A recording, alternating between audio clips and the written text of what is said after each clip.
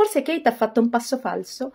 Lunedì 22 maggio si è presentata a sorpresa al Chelsea Flower Show, evento amatissimo dai reali e dall'ex regina Elisabetta. Il problema era che la sua visita non era programmata e ha finito con l'oscurare il re e la regina. In un mondo di buon senso diremmo, ma certo che Carlo e Camilla sapevano dell'arrivo di Kate, è una loro rappresentante.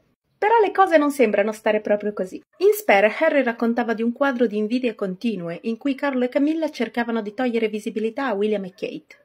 Questo perché, includendo i membri minori della famiglia reale, erano in troppi a dividersi la stessa torta d'impegni. Una volta addirittura venne detto a Kate di non indossare accessori che la facessero risaltare troppo, altrimenti i giornali avrebbero parlato solo di lei. È quello che è successo ieri. Kate addirittura è arrivata in anticipo, prima di tutti gli altri, prendendosi tutte le copertine dei giornali.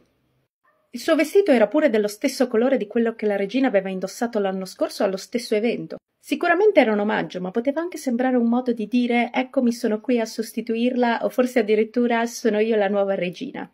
Ma è possibile che Carlo e Camilla siano così meschini? Eh, forse ricorderete, come ha detto di recente anche la serie The Crown, che Carlo era molto geloso della fama di Diana. Quindi i precedenti ci sono, e a parte questo un pensiero personale. Forse avete notato anche voi che con l'approssimarsi dell'incoronazione William e Kate, che prima stavano defilati, hanno cominciato ad apparire un po' dappertutto. La sensazione era un po' che avessero avuto il via libera, adesso Carlo non deve più sottostare a sua madre, comanda lui. Quindi ha potuto essere magnanimo e dare più spazio al figlio e a sua nuora.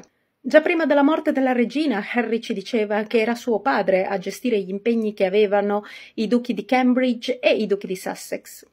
Se William a volte non era apparso troppo in pubblico, ci diceva Harry, era colpa di suo padre, che ne limitava la presenza. Un uomo che si faceva questi problemi, e mi riferisco al re, secondo voi può aver preso bene essere ancora una volta stato scavalcato in visibilità dalla nuora? Questo dipenderebbe da come Carlo sta vivendo adesso il suo ruolo. Se adesso che è la massima autorità è appagato, se adesso sente che è tutto in mano sua perché lui rappresenta la corona, allora forse continueremo a vedere Kate e William in giro.